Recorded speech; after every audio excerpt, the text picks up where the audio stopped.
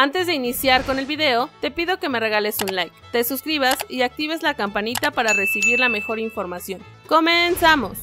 Fernando Gorriarán a un detalle de ser jugador de Tigres. El uruguayo firmaría con el club felino por cuatro años. La negociación para que Fernando Gorriarán sea nuevo jugador de Tigres avanza a paso lento y solo un detalle en la propuesta contractual lo separa de ser el primer refuerzo felino para el clausura 2023. Los obstáculos que había desde hace semanas se han ido solventando, pero sigue uno todavía sin poder dar paso a la firma del contrato por cuatro años. Falta un pequeño detalle en el contrato para que sea el primer refuerzo. Había otros que se lograron sortear y ahora solo falta uno que se espera quede solucionado lo antes posible, reveló una fuente a Canal 6 Deportes. ¿Cuál es ese detalle? Son temas muy personales y de la negociación con su representante. Entre los clubes todo está acordado, pero es de los detalles pequeños que muchas veces hacen complicarse las negociaciones, reitero. De hecho, es detalle tiene detenido el viaje de Gorriarán a Monterrey para someterse a las pruebas físicas y médicas, pues se esperaba que pudiera viajar este lunes e integrarse un día después a la pretemporada. Si ese detalle logra destrabarse de inmediato, viaja a Monterrey para las pruebas físicas y médicas, se espera que no tarde mucho más allá de dos días y así pueda tener integración con el plantel en la pretemporada en Riviera Maya, indicó. En los últimos días Fernando Borriarán quitó de sus redes sociales todo rastro de su vínculo con Santos Laguna y eso avivó las especulaciones de que ya era jugador de Tigres. Así es que, por lo pronto, el charrúa sigue aún en espera del visto bueno de su representante para viajar y estampar su firma como Tigre hasta el 2026. Por otro lado, equipo francés tiene en la mira a Félix Torres de Santos Laguna. Después de ser titular indiscutible en la saga de la selección ecuatoriana de fútbol durante el Mundial Qatar 2022, Racing Club de Lens de Francia está interesado en Félix Torres. Así lo reveló el portal La Gaceta Express en su web, con ganas de reforzarse en la defensa central donde el trío Gradit, Danzo y Medina realmente no tiene recambio. RC Lens está decidido a contratar a un central profesional para suplir las ausencias de uno de los tres mencionados anteriormente. De hecho, Frank Hayes tuvo que resolver durante la lesión de Jonathan Gradit al inicio de la temporada para instalar a Masadio Aidara, lateral profesional, en esta posición. Una experiencia resolutiva que no piensa renovar el técnico del Lensois, que ha pedido expresamente a sus dirigentes la contratación de un central. Así, según la información que nos ha llegado, la escuadra francesa se ha posicionado sobre el internacional ecuatoriano Félix Torres, residente en el club mexicano Santos Laguna, y que disputaba el Mundial con su selección antes de ser eliminado tras la fase de grupos. Tras su gran Mundial, el jugador lagunero subió su valor de mercado hasta 6 millones de dólares. El ecuatoriano subió 2 millones de dólares desde su última cotización. Mucho tuvo que ver que se haya ganado la titular de la selección de Ecuador además de una de las figuras del club albiverde. Clubes de España, Portugal e Inglaterra también estaban detrás del ex Barcelona ecuatoriano, por lo que habrá que ver cómo avanzan las negociaciones con su club además del deseo del jugador de dar el salto al viejo continente.